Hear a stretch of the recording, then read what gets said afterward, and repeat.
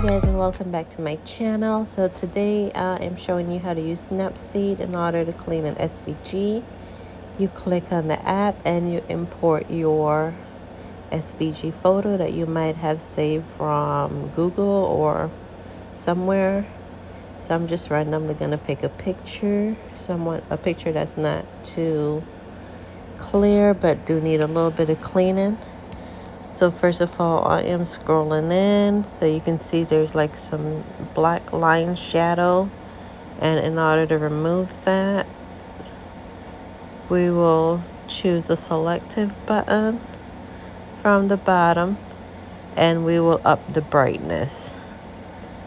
And you do that until you see like the outer black lines disappear and you will want to go ahead and press the check mark so it can stay. And then you scroll into different areas in order to see what else like shadow line that need to be removed remove. And you go ahead and click that selective button again. And once again you just up the brightness until the lines the shadow line is removed there's not like a particular number you go to just until you're satisfied but however you need to press that check mark after every after every time you up your brightness you need to press that check mark. And basically it's the same routine. You just go area by area and see what lines you want to remove well shadows I should say because you can't like technically remove the line. You also want to be careful so you're not like dull your image itself so much.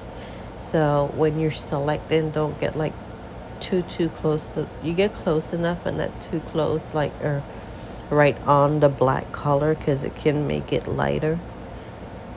So basically I am just checking out my image to see if I'm satisfied. This is a short tutorial and it basically works for me. I have a lot of files also that I be saving from different places. So this is a quick convenient app for me to use on my phone.